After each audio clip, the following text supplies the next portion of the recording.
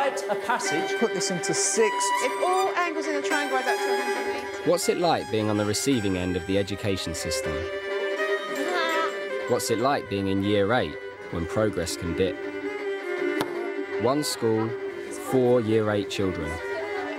Bradley, Jack, Louise, and Robert. This series offers snapshots of four pupils' experience and perception of school.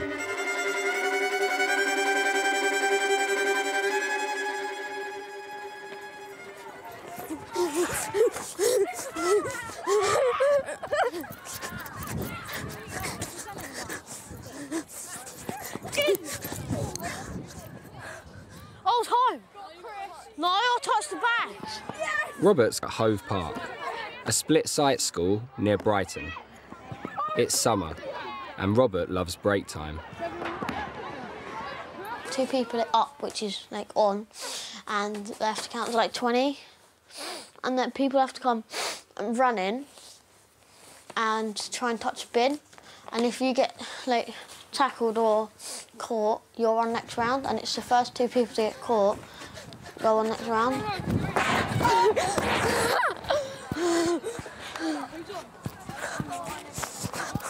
That's what we were doing all break, and then the bell went. Now, the reason we're looking at Japanese today isn't for the sake of learning some Japanese, as you know. It's to illustrate a certain linguistic concept. And the linguistic concept we're interested in today is language borrowing, loan words. Does anybody know what that means? Yes. Is it where they take it from different countries? Sorry? Is it where they like take different words from like different countries? That's right. Where we take a word for something we haven't got, we borrow it from another language. Don't know why it's called borrowing, really, because you don't give it back at any point. They don't lose it. And the word that you've borrowed is called a loan word. This is a special dress worn by Japanese women on ceremonial Lift it up if you think you know which one it is. Hove Park's a specialist languages school, answer, please. and food technology has a language component. One answer, please. What one are we? Is that right? You would know, you're Japanese, aren't you? Harry Wait, wait, Taylor. That one. Right, you should have had that one. Turn that one upside down. Kimono. Kimono. That one for the bed. We're clever. Let her do the work. Turn over because we're finished with that. That's why you're not in this group. You're going to get the next one wrong. This is raw fish. Wrong. Wrong. Is it that? That. You make up your mind. Miss, is Wrong. that it? Miss. Wrong. Miss. Well done. Sashimi. Sashimi. What the? I think the teachers think of me.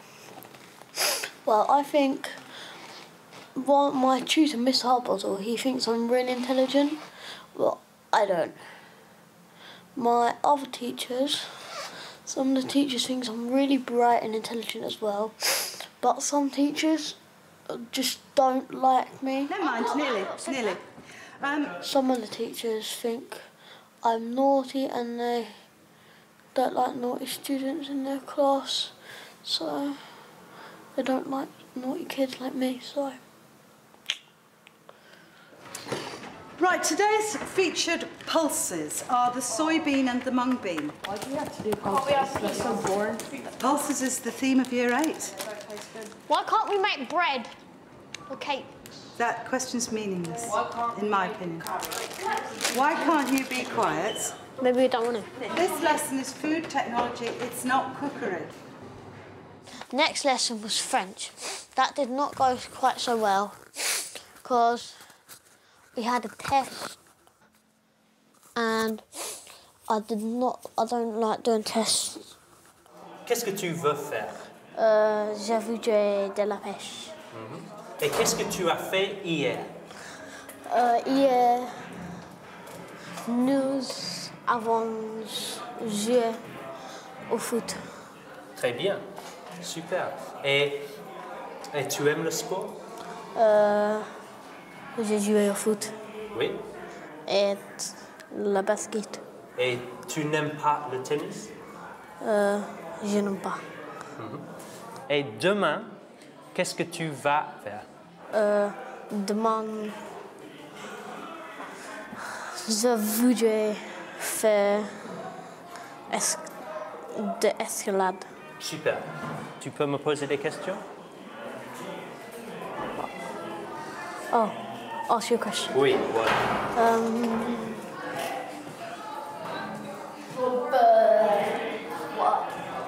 Um, qu'est-ce que tu vas faire? Euh, demain, je voudrais aller euh, au cinéma. Uh, Parquet. don't know what that means. Parquet, that thingy one. What you said to mm-hmm. pass, because that one pack. Pourquoi? Yeah, pourquoi? Pourquoi? Why? Pourquoi? Parce que j'adore les films. J'adore les films de science-fiction. Euh, yeah. Qu'est-ce que tu devais? Hier, je suis allé à la piscine. Ok, excellent. Merci. Merci. Aussi. Very good, Rob. Which tenses did you have? Uh, past, Yeah, future, Yeah. and the present. and the present. Level five is two tenses. Level six is three tenses. So you're approaching level six with your speaking. Now. You've asked me questions. You've responded well to all my questions, and you've got three tenses in there. So it's really, really, really good stuff. Yes, you said you need more adjectives Yeah. for level six. Yeah. Level six is just more Yeah. sophisticated, more stuff. I prompted you. I said pourquoi, why. You said que. You knew. You knew how to add. Yeah. You don't need me to say pourquoi. So if you take more independence and add these bits yourself, which you, which I know you can do. I think you'll be able to hit a level six. I really like football because it's energetic and fun. I've played for three teams now. My third club, the one I'm at now, is called Edge Athletic, and it's the one, and it's the best one of the three because we got on trips in it. And just three weeks ago, about that, um, I went to Holland with them, and Holland was so good, and it was like, and we could learn stuff from all the Dutch kids and that and it was really fun. I've really enjoyed it. I've got some fab books here which you might get some ideas from. But ain't got none in Holland. International studies. In an earlier lesson, Robert wrote facts about Holland. Holland. Now he needs to complete a form to test what he's learned. So you've got a lovely selection. What have you achieved? What do you think you've achieved by it? Have you done something that you've not done before? What have you achieved? Could you shut the door, please? I don't know. You don't know? Wrote so many things. Wrote so many things about Holland. So why don't you write down? I found, I found out a lot about Holland. Like most children here in Year 8, Robert takes an ASDAN International Studies course rather than a second language. didn't.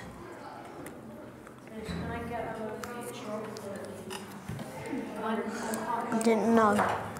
That I didn't know before. I need to know the flag colour. Right, E on the end there. Put an E on before, so it's good writing.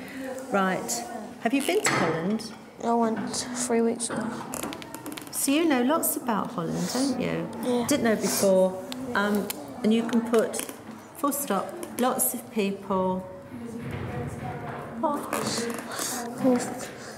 P. Paul. ride bikes. Wide. I went with my football club. Oh, Are you at your football club? Yeah. Where did you go? Amsterdam? No, Nijmegen. Nijmegen? Yeah. I don't like writing.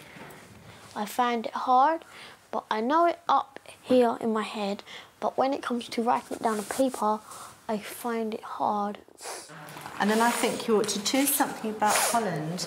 And I've got some writing paper here. And what you could do is you could do me a little bit of writing, something you're really interested in. And then if you want to illustrate it, you can, like the others are. The class is almost empty today because of a Year 8 trip to the zoo. to sport and leisure, did you? Hmm. Was that Amsterdam? Yes, that's Amsterdam. I've been there. It wouldn't be an Am. Is that an Amsterdam book? No, it's the Holland book. When? How you doing, Robert? Hmm. Doing good. Good. Right Holland.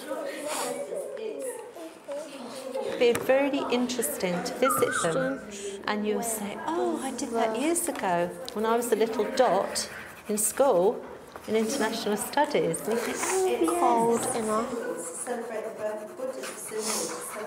Almost.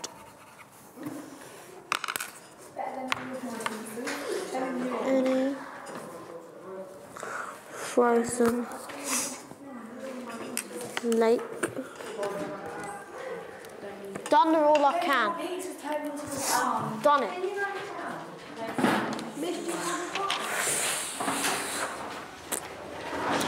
Right, what have you done? Show me. So Oh, skating. Can you do skating? It's all about skating and it's cold. Can you skate? What skating do you do? On ice? I can. Mm. I got lots of help from my teacher called Miss Hartley, which I do not normally like. Uh, but today was different because she actually helped me. And it was good because I got to do what I wanted to do, which was write some information about Holland and that. It's one, it's just one kilogram. Maths, Okay, then it's one point. the last lesson of the day. Robert's working with his friend Marcus, who has a visual impairment and can't see the board. Give me the hardest one then. Five tons and all that lot. They have to order a set of objects according to their mass. Yes, That will finish that chapter off for you, actually. So that's done. Let me see. That's here, is it? Oh, it's the street. The length of the street is 100 meters, and there's three lamps in it. Okay. No. Then you have to work out the distance between the lamps, each lamp. How many threes are on 100? Three. Three threes on 100. It's 30, isn't it? No, it's 33. Yeah. It's 33 and a half. Right, 33 and a half metres. yeah, i'm going Okay. This one's hard. 1.2 kilometres and 12, 21 lamps. Robert's currently achieving a level 5B in maths There's a thousand metres in a kilometre. and is in set 2 of 4 with a long-term supply teacher. metres in a kilometre, so that's 1,000 metres. And there's two. There's two. 1.2 kilometres. Is that one kilometre, two metres? Yeah. So that's 1,000 kilometres, 1,000 metres in a kilometre, and two metres. And it's, and there's 21 lamps. 21 lamp, lamps. Are you okay? Yeah, I'm just trying to work this one out. 1,000 kilometres and 21 lamps. The distance between the lamps. Number of lamps. Ah, the distance between the lamps. Okay. Well, you, if there's 21 lamps, Yeah. there's one at either end. The, there are actually 20 distances, not 21, aren't there? So if you've got 20 distances between 21 lamps, it's a lot. It's a lot easier to work out, isn't it? So how many meters is that? 1.2 kilometers. It's 1,002. 1,200. Would that be 600? Uh, okay, if we divided by two, you'd get 600. Like that divided by But actually, we're wanting to divide it by 20. So what do I do? 60. 60. 60. A 60 what? 60 Lamp meters. meters. Today half the class wasn't there, and the teacher actually helped me. He helped me for once, because me and Marcus, who I was sitting next to helping, he didn't get it either, so we asked her and he helped us out, and then we got and we got the hang of it. So it's 125 so, lamps. 126. Is it 125 lamps? Well, it's 125 spaces, isn't it? Yeah. So 125. Ooh, difficult. The school trip means the class is half its normal size. Divided by 125. To divide by 125. Oh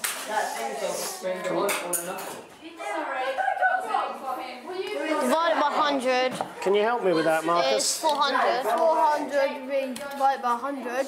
Then divided by, do three quarters. Well, you're on the right track. We've got to say how many 25s are there, not in 40, but in 400. Wait. One, 50. Two, no. Six, one 160. Just how many hundreds are there there? There are four hundreds, but we can't have four of them. That would be too much, wouldn't it? Oh, So what could we have? Three? Shall we try three? yeah. How much is three times three lots of that? It's 300 and... 75. Excellent. Thank you, Rob. So if I take that away from there, I've got just 25 left. Bring down this zero. Remember Uh, this? 250. Now there's an easy sum for you to finish with. How many 125s are here? Two. Two. 32 meters. 32 metres. Absolutely. What's the next one? Are you going to be able to do that one without me? You all right with that for a minute? I'll leave you to it. Yeah. Okay. Right. It's harder. It's harder. Show me how you start your bowl, right? Then you need your front arm. And it, what you do with it is you slice your target. So you slice down the wickets and then bring it through at the end. Try and get its bounce.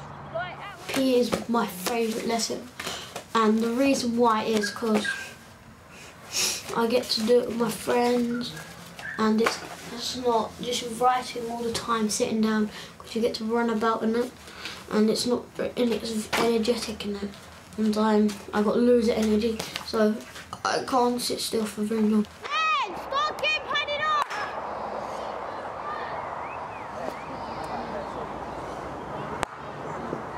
Go on, Dash.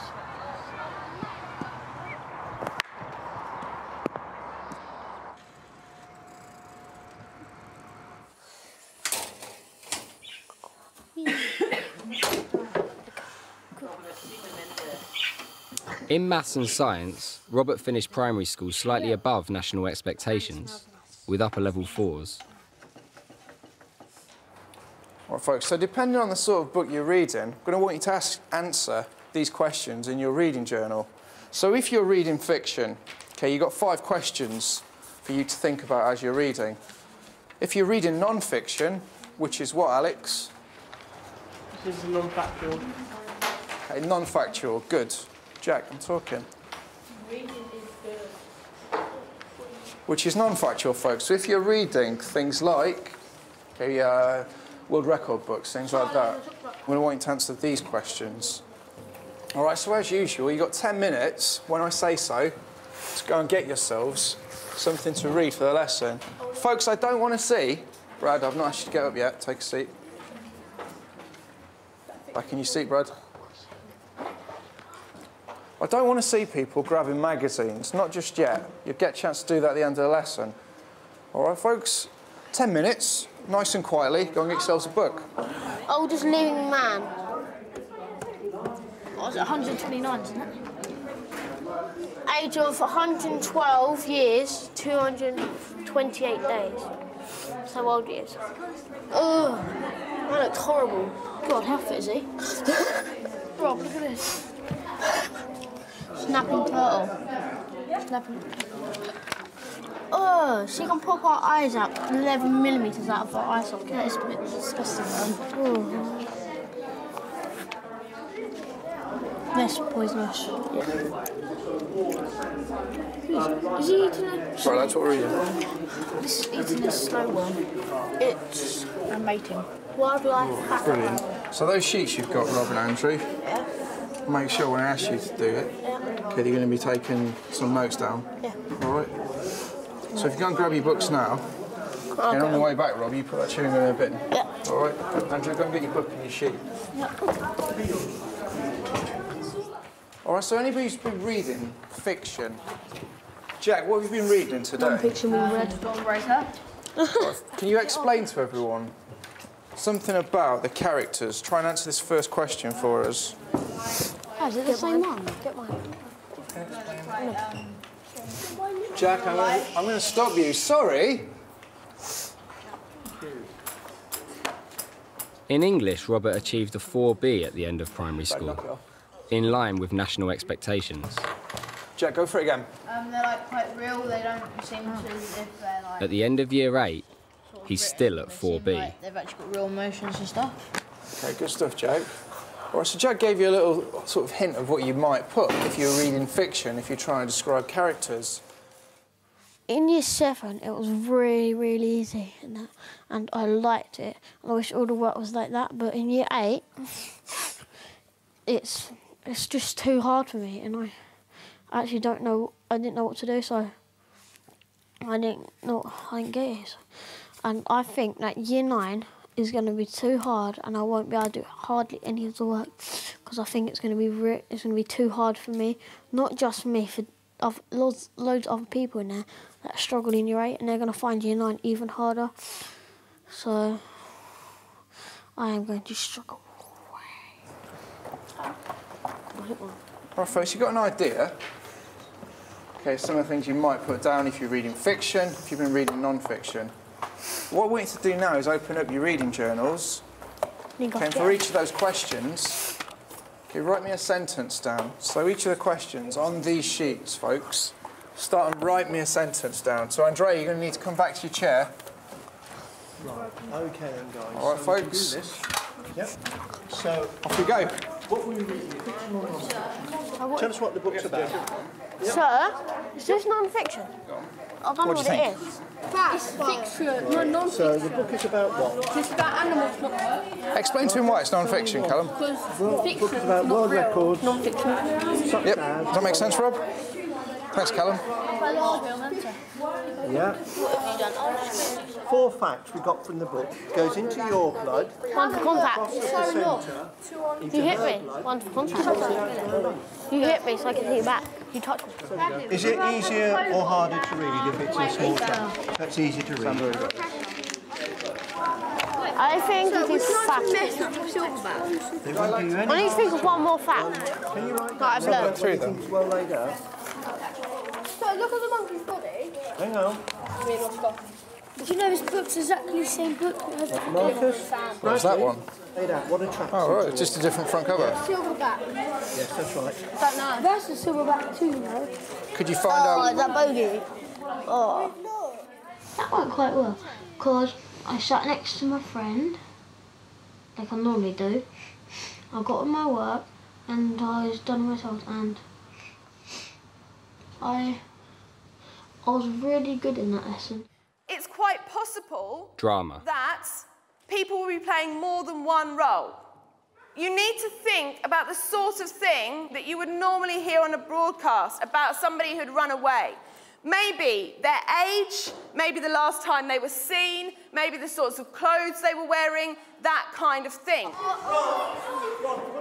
The pupils are creating a television crime report. Me and Oscar have to do it together. Okay, write it down. Sir, that yellow hello and welcome to my News. Today. Robert's imagination seems to have been stimulated by the project, and he decides to write his own script. Oscar! Yesterday, yesterday morning, a teacher at what, what school? Um, St. George. St John's, I do. Oscar, I've got your thing. No, I'm doing it. That. You just write yours, yeah? You write your script and I'll write mine, okay? You say that first, then you go over to... My name is Oscar and I'll be doing your news today. And you go over to you, Robert, and I'll go, yesterday morning about 10 o'clock, 10, a- around about 10 a.m., a teacher was badly beaten. Oscar, you say that.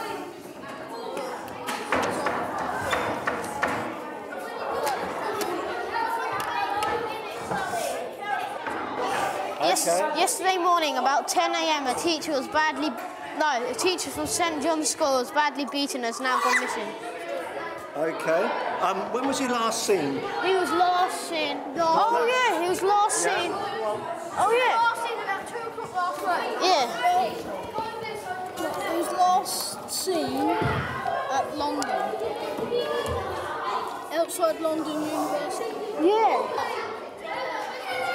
Oh, yeah, the crime scene. Now this is the crime scene. No, wait, you have to. There's blood all over the place, and Callum's taking pictures of it.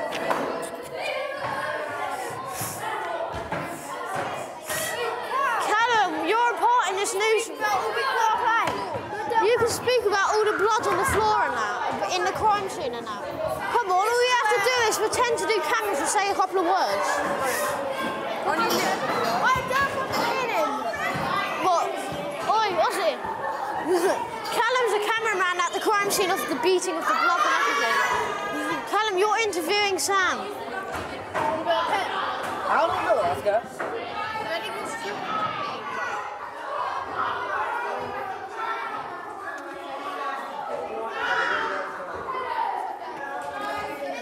Beaten.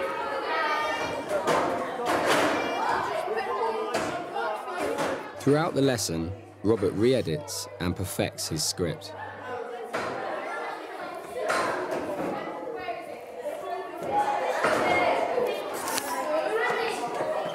Is that alright? Yesterday morning, about 10 a.m., a teacher from St John's School was badly beaten outside a shop in North Yorkshire and has now gone missing. He was last seen outside London University around 3 p.m.